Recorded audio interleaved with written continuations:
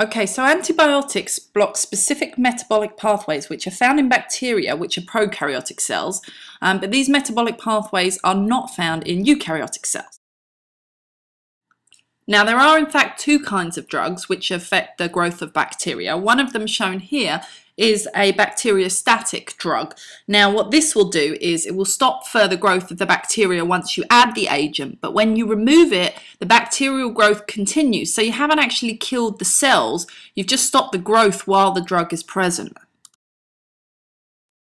So the other kind of drug is one which we call bactericidal, and this will in fact kill the microbes, so the number of cells decreases immediately. Now, in the case of either of these drugs, uh, it's going to be useful to the immune system because the growth of the pathogen, the bacteria, is stopped and then the immune system itself will be able to kill it.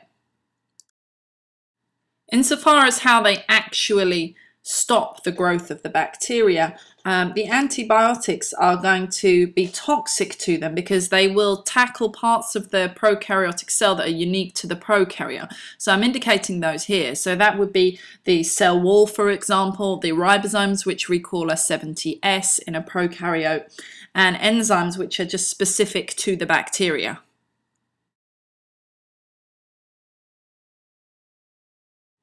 I think to finish this up, it's important to stress that the antibiotics are going to be effective against the bacteria, but not against viruses, because viruses will use a host cell to reproduce, and the antibiotics will not affect the metabolic pathways of the host cell that the virus uses.